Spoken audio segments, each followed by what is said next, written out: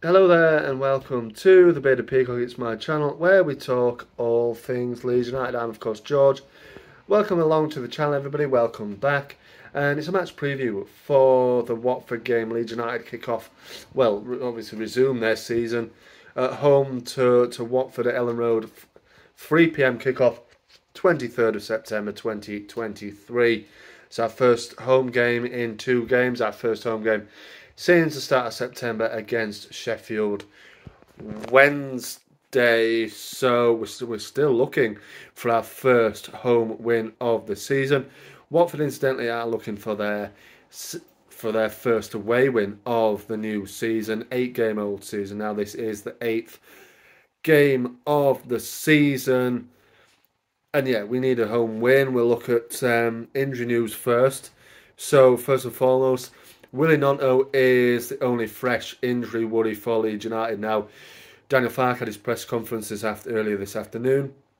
He spoke about Willy's injury. He doesn't know the extent of it just yet. They're waiting on a scan to come back today, he said. So maybe tomorrow we'll find out the extent of Willy's injury, but he won't be involved in the game against Watford tomorrow at Elland Road, unfortunately. But Willy's had a little bit of an indifferent start to the season. I think the, the, the goings on in the summer have obviously affected him really. Cat, he just seems to be marked out of every single game, and, and, and the opposition seem to just put everything on him. I mean, the Millwall game was a massive example of that.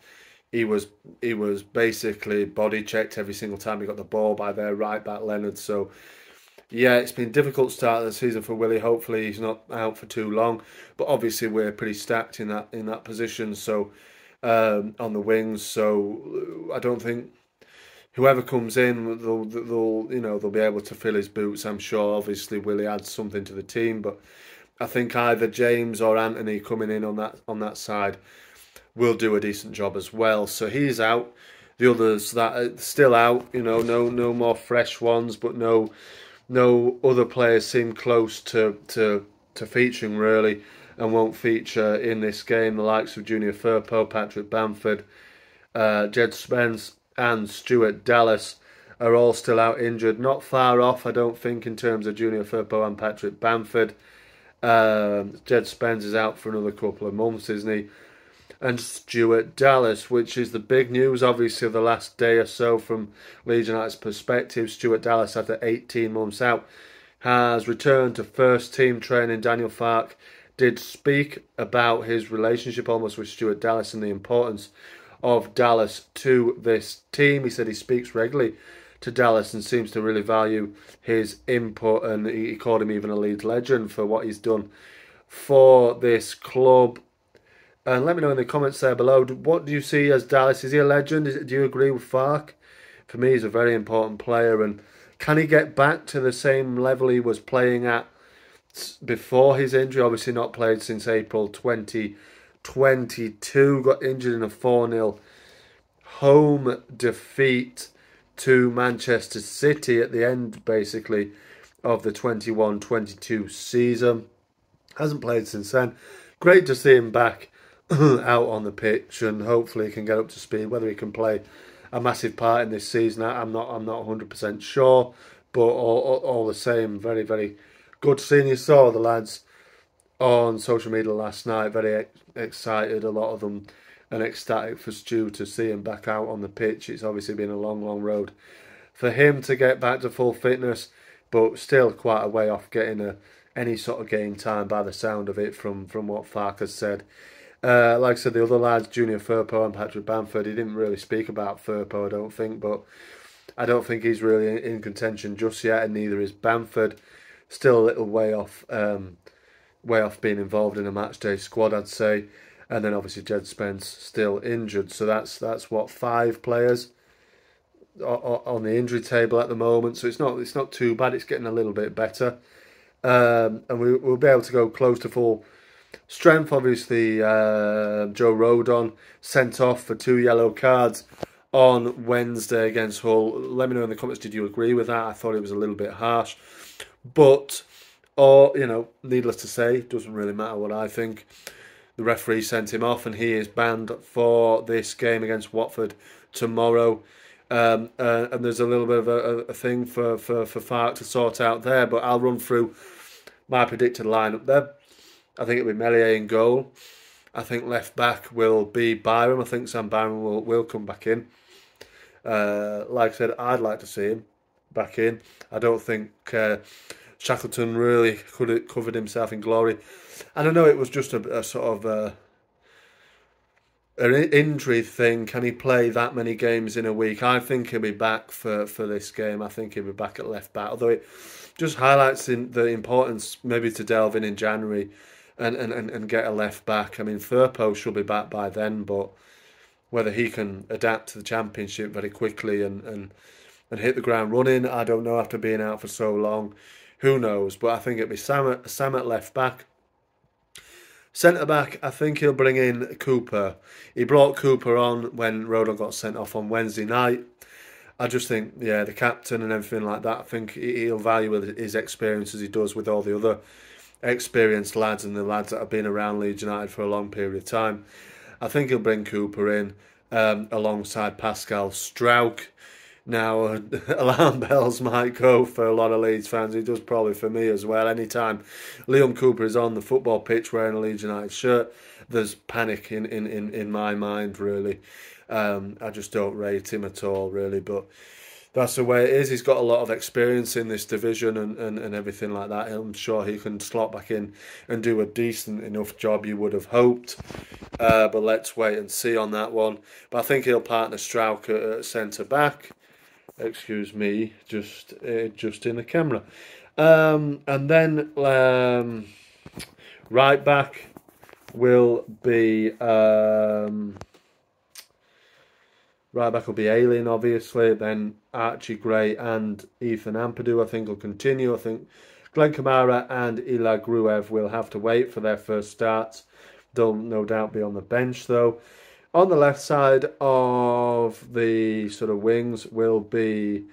I'm going to go with James, although I wish he'd start Anthony because I think James is more of a impact sub, but I believe he'll probably start with James. Um, in the middle will be Piroe, on the right will be Summerville, and on the on, on the front by himself, I'm sure, will be Georginio Rutter, who needs to find his shooting boots again after that miss on Wednesday. I'm sure back at Elland Road he'll be wanting to prove a point, wanting to get his first goal at Elland Road. Hasn't has he scored at Elland Road? Two goals this season, hasn't he? Has he scored at Elland Road? My mind has just has just gone. Um, yeah, I, th I think he has. But let me know in the comments because my mind has just gone completely. I d who knows? But he scored against Millwall, didn't he? Um, whether he hopefully can complete, um, replicate that feat. It was a lovely finish on Sunday. Whether he, you know, it was an awful finish on Wednesday when he got that opportunity. So hopefully he can get a goal and, and, and do well. Um, you know, in, in, in as the season goes on.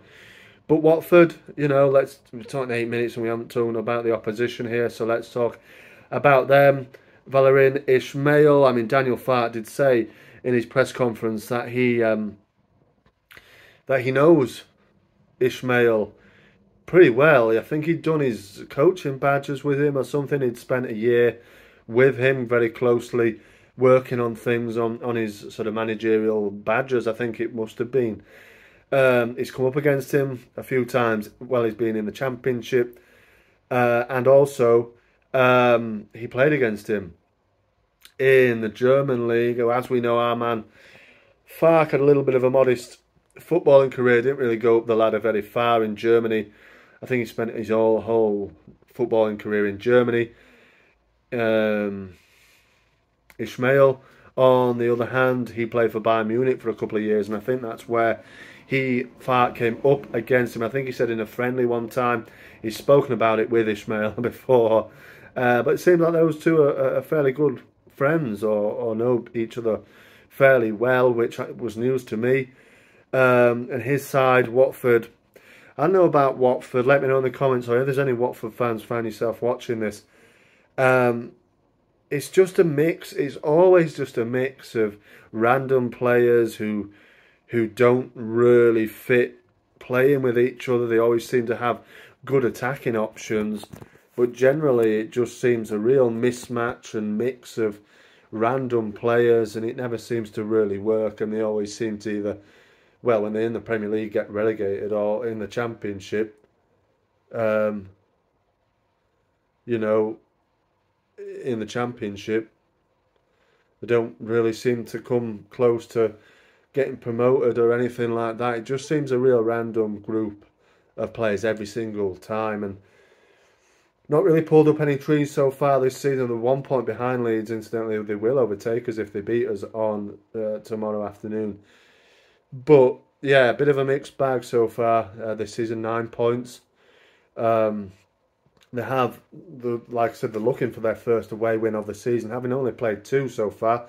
Five home games have played so far at Vicarage Road this season out of the seven games of the season.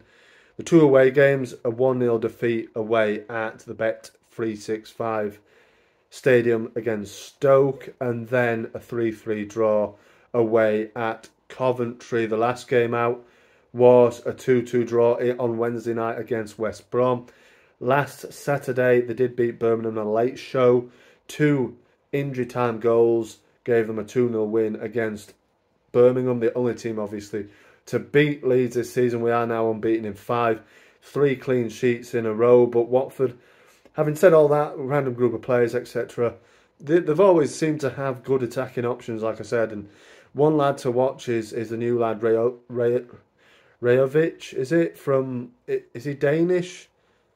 He was playing in Sweden, and he's got three goals from four games, including one of those late late goals against Birmingham on Saturday, and I think he got two against Coventry as well, didn't he? They've got Tom Ince who can sometimes cause issues as well. The only injury news I think from from their point of view is Ken Sema, the Swedish fella who's out injured. But other than that, I think they're pretty much at full strength. But full strength for me isn't isn't really that impressive for, for them, unfortunately. Uh, let me know any any Watford fans how you're feeling about this season, but they're, they're good enough to probably cause issues. You know, Ish, Ismaël will play a 4-3-3. He's done it every single game so far this season. Expect the same on Saturday. So I think we've got enough to beat this team. I obviously I really I do. I think we we need to get our home season up and running. I believe this will be the game that that does it for Leeds. I think we'll get our first win of the campaign tomorrow. Home win, should I say. Um, and then, but on the other hand, Watford do have a decent Elland Road record. Uh, include you know over the last five games, Watford have won three of them. We've only won the one, and in that in that run includes a six-one win at Elland Road for Watford. So they do have a decent away record at Elland Road. Um, we the only win win of that sequence was the last one, obviously, where we beat them 1 0. Diego Llorente's goal from the corner um, in the 18th minute of that game saw us win our first game of the 21 22 season. That was October, I think, uh, 2021, so going on two years ago now. Since they last came to Elland Road, we beat them 1 0. Like I said, Diego Llorente with the goal no longer seen around Elland Road, of course playing for Roma in Europe, as a lot of these loan players have seemed to somehow find themselves playing in European competitions of various different levels. Obviously, Brendan Aaronson turning out for Union Berlin at the Bernabeu in midweek, the same night we went to Hull City. So there are levels, there are different levels, aren't there, to this game, as they say. But um, yeah, so let me know in the comments there below how you're feeling about this one. Uh, give me your score predictions, starting lineups, how you're feeling. Any Watford fans, like I said, everybody's welcome here at uh, at the channel, the Bearded Peacock. From me, the Bearded Peacock, George. Uh, have a good one, have a good day, and enjoy the game if you're going tomorrow. Thanks very much for watching. Marching on together. I'll see you on the next one.